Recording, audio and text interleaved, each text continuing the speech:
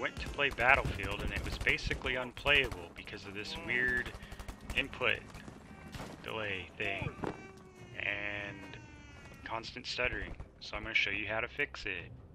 First thing you got to do is open up the Relive program thingy and go to your settings and go to preferences and turn off the in-game overlay setting. You should be on by default, but turn it off.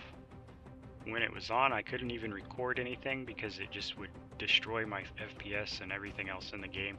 I could kind of play without recording, but it was still really stuttery.